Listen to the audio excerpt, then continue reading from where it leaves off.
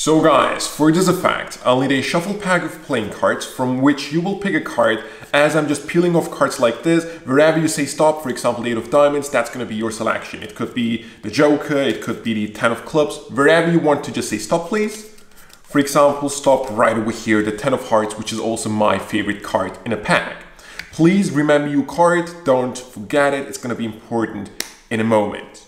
At this point, I can just lose these cards back in the box, secure them inside, and ask you the important question. Do you remember what card you picked? The Ten of Hearts. Okay, sure. You just remembered it a second ago. But do you also remember its color? And I do not mean the face color, I mean the backside of it. It was obviously red, wasn't it? Cool, okay. But do you also remember the color of the other cards? The other 53 cards in the deck? Okay, interesting. Still red, but watch this. With a snap, suddenly, all cards in the pack, nothing else inside the box, they become all blue. All 53 cards, and I'm saying 53 for a reason, because you'll see that one card still is red. And that red card, you guessed it, what was your selection? The 10 of hearts is the only red card in the blue But there is of course a but in this effect. What am I gonna do with a single red card in the deck? That's why I can just take it, rub it against the blue card, and make it blue. That's what you will learn today. Let's get started.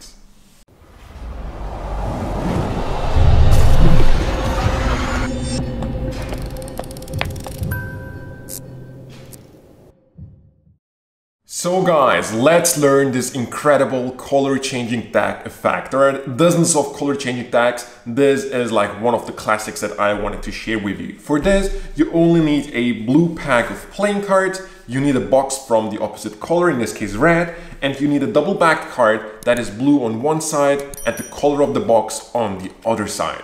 That's all you need. You start off by having the opposite color on top of the pack, square everything up, and you're ready to go. You will start by showing the face of the cards. And as you're showing the face of the cards, you also have to give them the feeling that you are really using a red deck of cards. I mean, you already have the subtlety of the box, you have the subtlety of this. Now you turn around the cards, you show all of them are different. Cool, right? At this point, no one is gonna say, hey, you're not using a red pack, it is a blue pack. No one is gonna say that. However, I still want to enforce that I'm using a red pack of cards. That's the reason why I'm saying that they will pick a card in a moment. And as I'm saying so, I show them how they will pick their card. So I'm holding these cards as I do a Hindu shuffle, right? So I'm basically holding them on the bottom edges here, right? And with the other hand, I take a few cards from the top and peel them into my other hand. I'm doing this once, I'm doing it twice, and then I'm just turning around the pack, tapping on top of the top card and say, you can't stop me at the Queen of Hearts. That would be your selection if you want to. Then you turn the pack back around and you continue once again. You say it could be the Ace of Hearts. And again, you turn around the pack to point at the Ace of Hearts. And the only reason I'm doing that is not to show them how they will pick their card. It is actually to tap on the topmost card revealing the red color of the cards, right? So without mentioning the cards are red, I'm enforcing that I'm using here a red pack of cards, right? A very, very cool subtlety that you can use in this effect. So I'm doing this twice or three times, and then I continue until they say stop. For example, here at the eight of hearts, and I'm doing my subtlety one last time, you pick the eight of hearts, and they see the red card again without me mentioning. Now, once they have the card in their mind, I put all the cards on top and these go inside the red box. So I have here plenty of subtleties that show them, hey, here I'm using a red pack of cards, right? And now you're pretty much done. You're halfway through. You're gonna talk about which card they pick, what the color was, and then you're like, where the card's really red. You snap your fingers, you open up the box, and reveal all the cards blue. Now you're spreading them to show really every single card is blue until you reach to the red card here, which is your double backed card.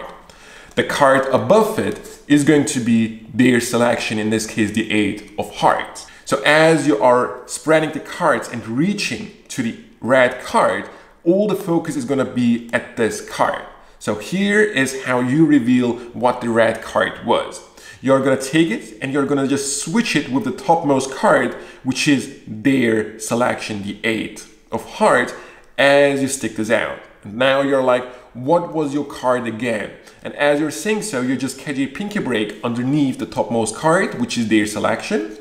You put the red card on top and you just do a double lift to reveal the eight of hearts. Because we were using a two-sided double-backed card, the card beneath it just changed to blue, so you end up incredibly clean.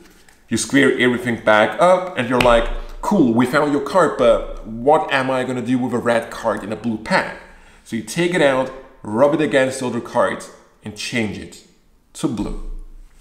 That's simple, guys. Such a cool way of doing the color changing deck very easy to do. You can learn it very, very quickly and I'm sure you'll love to perform this yourself. So please do so. If you liked it, let me know with a huge thumbs up on this video, with subscription on the channel, and of course your comments in the comment section below. But that was all from me today. I hope to see you next time.